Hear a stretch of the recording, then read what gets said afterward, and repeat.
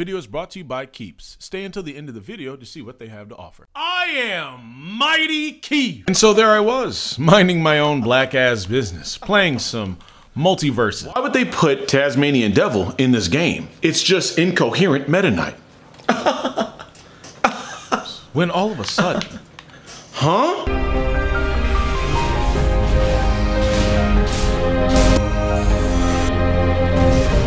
Now, I don't like being that YouTuber that compares every open world game to Breath of the Wild. But Breath of the Wild, but with Sonic?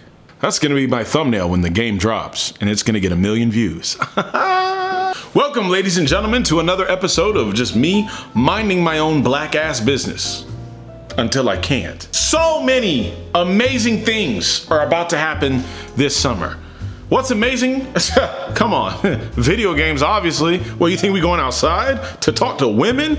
Gross. See my wall of anime stuff now? I'm a real YouTuber. You're not a real YouTuber until you get this type of stuff hanging in the background. Anyways, let's get into the show. Just today, right? For all my Sonic fans, y'all are getting a W this year. That's crazy. The Sonic movie came out. It's doing numbers. No one even remembers any of the other movies that came out around that time, specifically Morbius, specifically garbage. And you're also getting Sonic Frontiers, which actually, for some reason, looks amazing. I'm sitting through this trailer and I'm generally like, what is going on? This actually looks fun. The thing is, I don't know how developed this is because it still kind of looks like someone's kind of theory crafting about a Sonic open world, right? You got the rails kind of just out in space. You know, they're not really connected to anything. I don't know if that's just a thing in Sonic games now.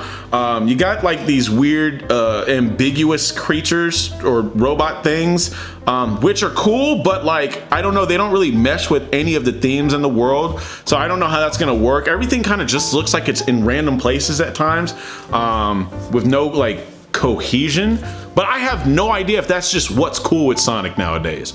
Um, who knows? I don't know. This might be part of the lore. I don't know. But I'll say one thing. I'm interested. It looks pretty sick. You guys fans of the Witcher series?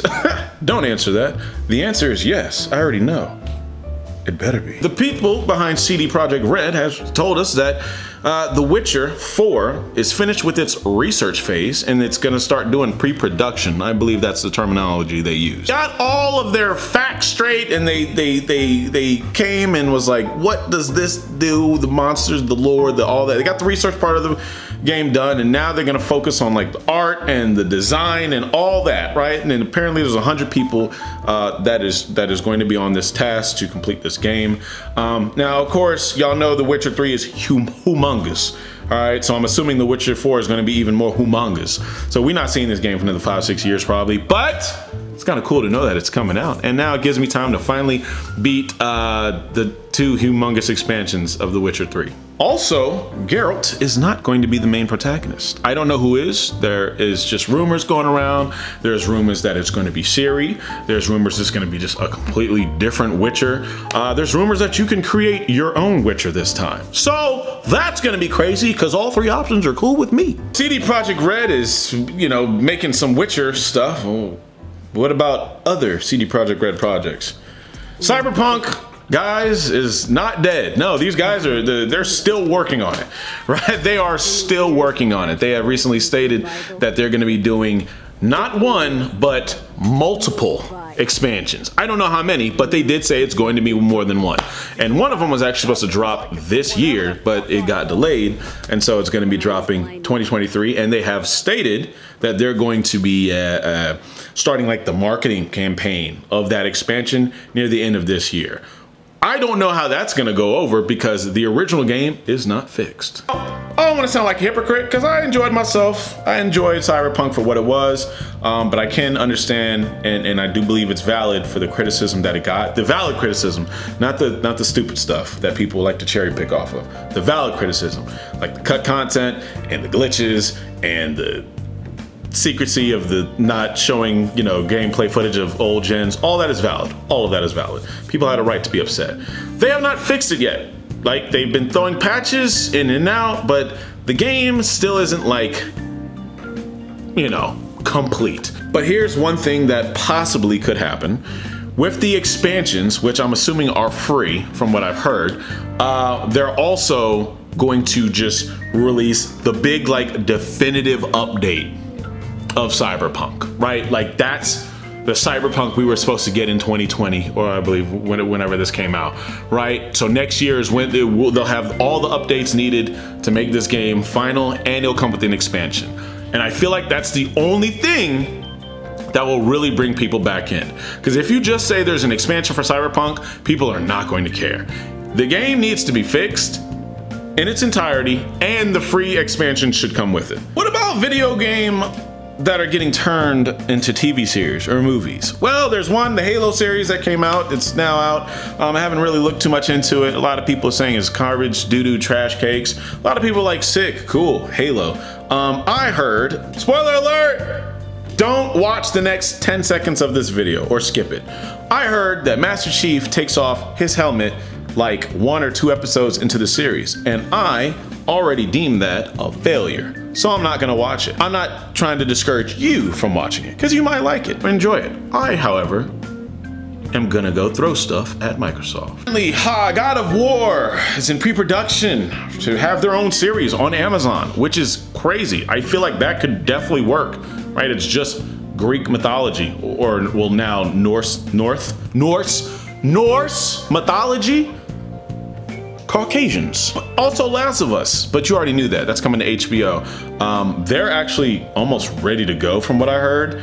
And uh, that seems cool because uh, Pedro Pascal, who's gonna be playing as Joel, uh, he's a good actor. I like him a lot. I liked him in God of Game of Thrones. I liked him in Mandalorian, you know, the show where he doesn't take off the helmet in episode two. So we just got done talking about video games and then video games becoming movies, but what about movies becoming video games?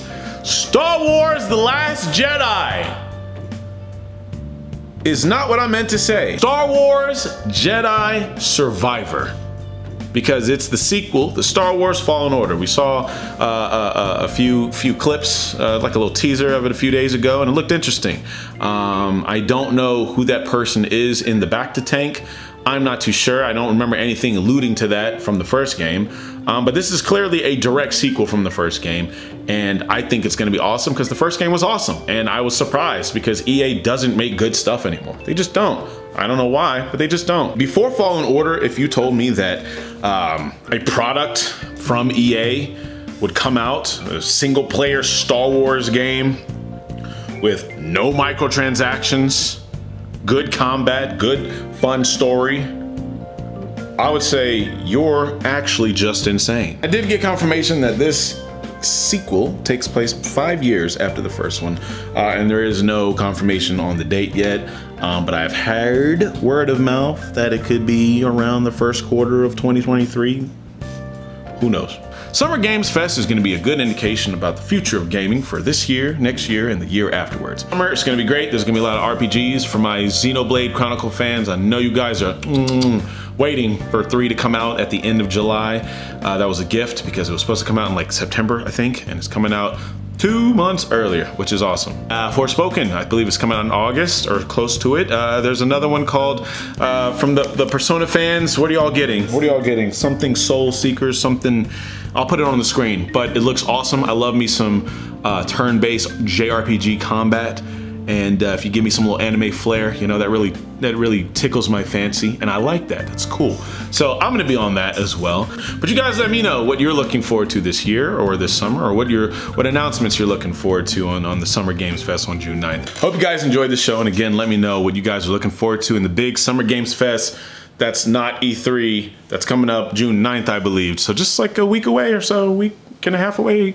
Uh, yeah, we'll be able to see our presents see what games are coming out, and uh, I'll see you then. Well, I'll see you before then, but I'll also see you then.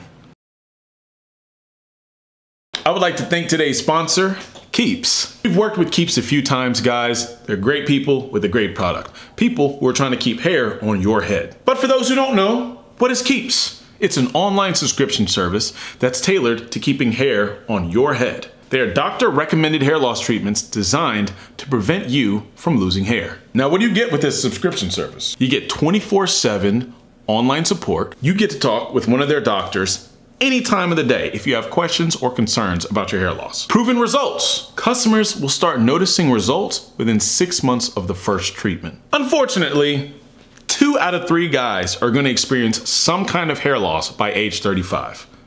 That's a crazy stat. But Keeps has you covered. It's not just hair loss. If you wanna grow hair to just, I don't know, have an abundance of hair, Keeps got you covered there too. It stimulates hair growth, as well as keeps what you already have looking nicer. They also have shampoo and conditioner to help everything looking nice and beautiful. Gas prices going crazy? Who, who wants to leave the house? You don't have to. Keeps will actually send the package directly and discreetly to your door. So what are you waiting for? Hair loss stops with Keeps. So go to the link in my description or type in Keeps keeps.com slash K-E-E-F to get 50% off your first order. That's half off. Good Lord. Again, that's keeps.com slash Keef for 50% off your first order.